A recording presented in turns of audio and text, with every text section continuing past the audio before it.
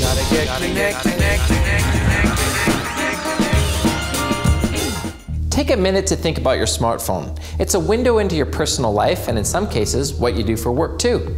You've probably got some software on your computer to protect all that stuff, but what about the computer that you keep in your pocket? Right, I didn't think so, which is why we've got you covered with software to keep your smartphone safe and secure, and to help get it back to you if it ever goes missing. Our first app is a must download app, and it's available for Android and iOS, and it's called Lookout. Along with being able to track, wipe, and sound an alarm on your phone remotely, Lookout is also designed to deal with mobile threats. It can help you avoid unsecured Wi-Fi networks, malicious apps, and fraudulent links. It'll even back your contacts up automatically. There's also a premium version that gives you more robust data backups, the ability to lock your phone remotely, and other cool features like a built-in privacy advisor. The nice thing about Lookout is that it stays out of your way when you don't need it, but it's ready to protect you when you do. Now next up, we've got an anti-theft system for Android called Cerberus. If your phone goes missing, you can track it on the Cerberus website, just like Lookout. But Cerberus has a few more features, like getting alerts if someone tries to use an unauthorized SIM card in your phone, as it's pretty common that a thief will try to swap your SIM card out.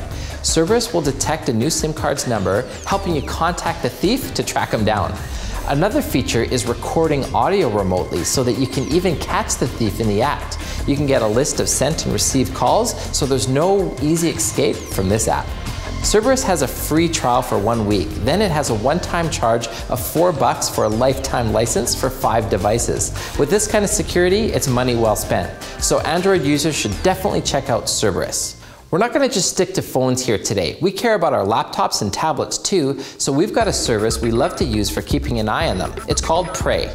To get Prey going, start with the software you download for your Mac, PC, Android, iOS, or even your Linux device, and be sure to install the version with the control panel. From there, you can control your devices from the Prey website. To get reports from your device, you need to mark your device as missing. On an Android phone, start by setting up an SMS activation phrase, which you can text to start getting reports. Now all you have to do is select the information that you want to see, including sessions and network information and geolocation. You can even access the webcam in your device to get your own mugshot. You can also get timed reports that email you updates on the selected information, which is really handy. The free version of Prey limits you to three devices and 10 reports per device, but the paid version gives you a whole lot more of both. It's a great idea for small businesses and anyone who wants to check up on their tech.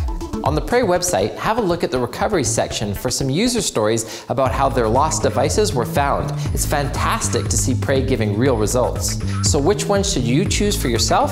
Our answer is all of them. Install all of these and keep them running as the free versions to try them out. The pro versions give you a lot more security muscle and are a bit more niche, but if you don't need the extra features, the free versions could suit you just fine.